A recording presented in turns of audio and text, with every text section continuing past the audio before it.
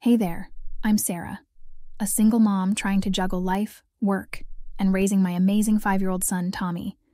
Before I dive into my story, do me a solid and hit that like and subscribe button. Trust me, you're going to want to stick around for this wild ride. I'm an accountant at this fancy firm, busting my butt every day to keep our little family afloat. My routine's like clockwork drop Tommy at daycare, race to work, crunch numbers all day, then dash back to pick him up. It's exhausting. But hey, that's life, right? At work, I've got this friend, Lisa. She's always got my back. Sarah, you're like Wonder Woman, she tells me one day. I just laugh it off. More like Tired Woman, I reply. My boss, Mr. Thompson, he's this stern dude. Always professional, you know? One time he catches me yawning. Late night, Sarah? He asks. I nod, thinking about Tommy's fever that kept us up. Just make sure it doesn't affect your work, he says, walking away. Everything's going smooth until bam, disaster strikes. I'm about to leave for work when my phone rings. It's the daycare. Miss Sarah, we've got a gas leak. We're closed today. My heart drops. I start calling everyone I know, but no luck. What am I supposed to do? Mommy, are we going on an adventure? Tommy asks, his eyes all wide and excited. That's when it hits me. I'm taking him to work. Mr. Thompson will understand, right? He's human, after all. We get to the office, and I'm a nervous wreck. I set Tommy up in my cubicle with some coloring books. Sweetie, you gotta be super quiet, okay? I whisper. He nods, all serious like. I'm typing away, trying to finish this huge report, when Tommy starts humming, loudly.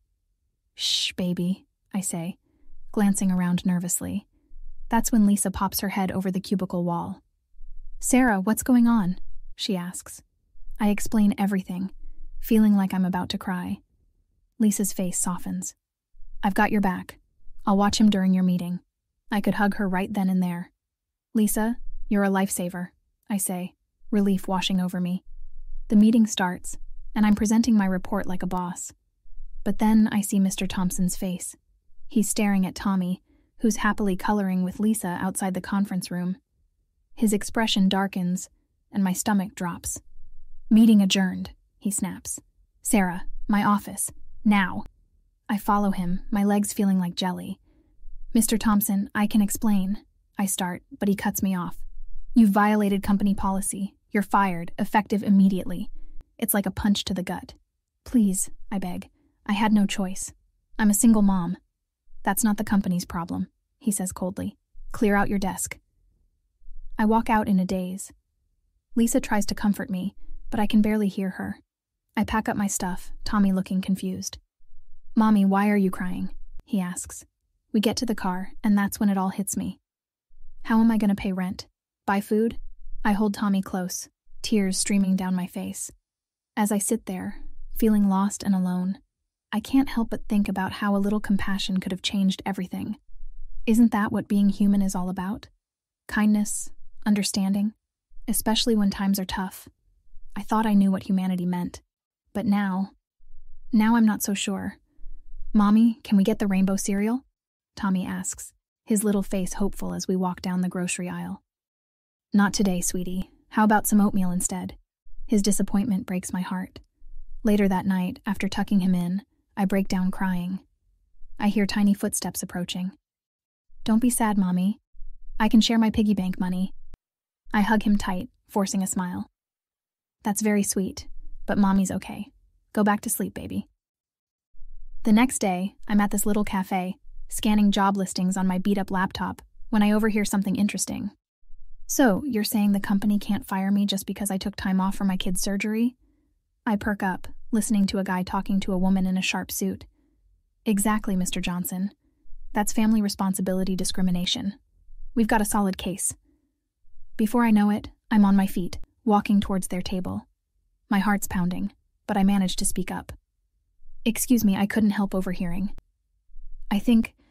I think something similar happened to me. The woman looks at me, her eyes sharp but kind. I'm Maria Rodriguez, attorney at law. Why don't you sit down and tell me about it? I spill my guts, telling her everything that happened with Mr. Thompson and the company. By the time I'm done, Maria's looking at me like I've handed her the case of the century. Sarah, what happened to you wasn't just unfair, It was illegal. We could take this to court. My stomach does a flip. Court? I. I don't know if I can afford.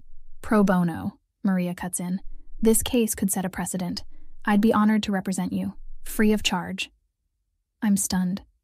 For the first time in weeks, I feel a glimmer of hope, but then fear creeps in. What if they retaliate? What if I never work in this town again? Maria leans forward, her eyes intense. Sarah, they've already taken your job. What else can they take? This is about standing up for yourself, for Tommy, and for every parent out there juggling work and family. She's right. I think about Tommy, about all the times I've had to choose between being a good employee and a good mother, about all the other parents out there facing the same impossible choices. Okay, I say, my voice stronger than I expected. Let's do this. Maria smiles, pulling out a stack of papers. As I start signing, my hand shakes a little. I'm scared, yeah, but there's something else too hope, determination. For the first time since that awful day at the office, I feel like I'm taking control back. Mr. Thompson won't know what hit him, Maria says with a grin. I can't help but smile back. You know what? I think I'm ready for this fight. As I finish signing, I picture Tommy's face. I'm doing this for him, for us, and for every working parent out there. Watch out, world. Sarah's coming back swinging. Man, I never thought I'd see my name in the headlines. Single mom takes on corporate giant. It's surreal. The phone's been ringing off the hook with reporters wanting my story. One day, I get this official looking letter. It's from Mr. Thompson's fancy lawyers, offering me a settlement. Maria's eyes narrow when she sees it. This is insultingly low, Sarah. They're trying to scare you off. I crumple up the letter. Not a chance. We're seeing this through. The courtroom's packed when Lisa takes the stand. I hold my breath as she speaks. The company's attitude towards working parents was hostile, to say the least. Sarah was one of our best employees, but she was constantly made to feel guilty for having a child. Mr. Thompson's face is stone cold. His lawyer jumps up. Isn't it true that Miss Walker frequently missed work or left early? Lisa doesn't miss a beat.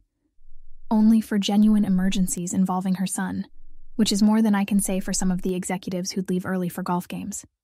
I could hug her right then and there, but not everyone's as brave as Lisa.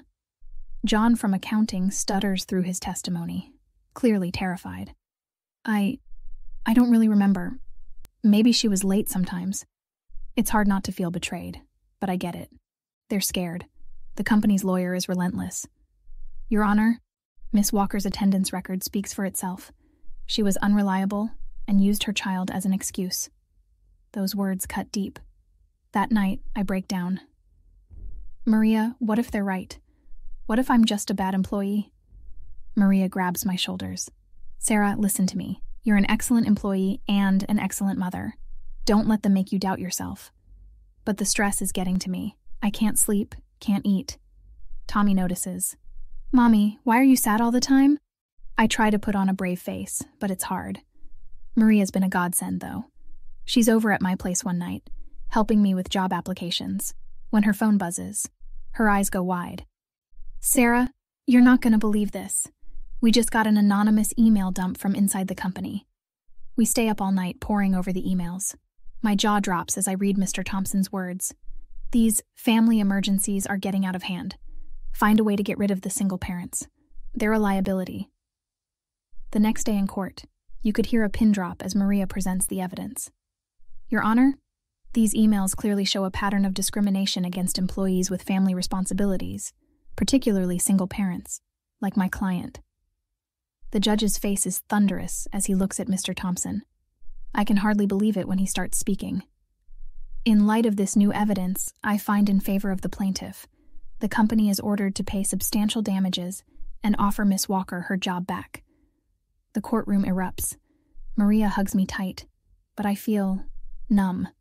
Victory, sure, but go back there? To that toxic environment?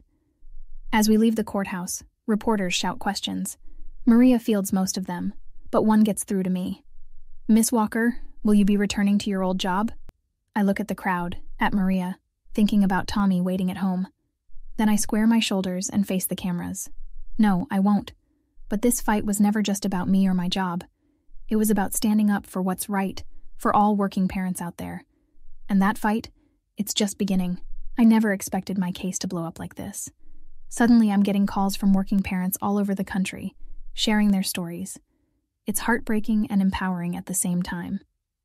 One morning, I'm making breakfast when Tommy points at the TV. Mommy, that's your boss. Sure enough, there's Mr. Thompson, looking like he's aged 10 years overnight. The ticker at the bottom reads CEO resigns amid discrimination scandal. The board of directors has accepted Mr. Thompson's resignation, a stern faced woman announces. We are committed to creating a more inclusive workplace. With the settlement money, I've got a chance to start fresh. I'm sitting at my kitchen table, crunching numbers, when it hits me. Why work for someone else when I can create the kind of workplace I've always dreamed of? I call Maria.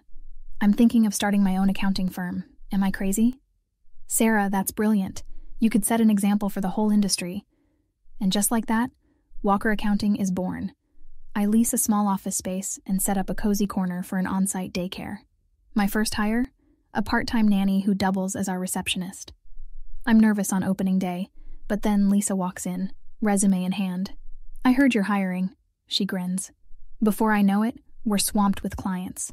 Turns out, there are a lot of people who want to work with a company that values family. One day, I overhear two of my employees chatting. Can you believe we get to bring our kids to work and flexible hours? I know, right? I actually get to see my daughter's school play this year. It makes all the late nights and stress worth it. Months fly by and the business is booming. We've had to move to a bigger office twice already. But the best part? That little daycare corner has turned into a full fledged childcare center. Today, I'm picking up Tommy from there. He comes running, waving a drawing. Mommy, look! I drew our family. I kneel down to look. There's me, Tommy, and a bunch of other stick figures. Who are all these people, sweetie? That's our work family, silly, he laughs. Later that evening, I'm at the community center, speaking to a group of single parents. I see the fear in their eyes, the same fear I had not so long ago. I'm not going to lie to you, I tell them. It's tough. There will be days when you want to give up, but you're stronger than you know, and you're not alone. As I share my story, I see hope beginning to spark in their eyes, it reminds me why I fought so hard, why I continue to fight. Walking home, I think about how far we've come, from that terrifying day when I lost my job to now, running a successful business that puts families first. It hasn't been easy, but it's been worth every struggle. Because in the end, it's not just about making a living, it's about making a difference. And as I tuck Tommy into bed that night, I know that's exactly what we're doing, one day at a time the story of Sarah and Tommy's journey has come to an end. Now, I've got a question for you. Do you think companies should be legally required to provide on site childcare and flexible hours for working parents? Or should it be left up to each business to decide? This is a complex issue with valid arguments on both sides. Share your thoughts in the comments below. Your experiences and opinions matter, and they could help shape the future of workplace policies. If you found Sarah's story inspiring or thought provoking, please hit that like button. And don't forget to subscribe to our channel for more stories that challenge the status quo and explore important social issues. Your support helps us continue to create content that matters. Thanks for watching, and let's keep the conversation going.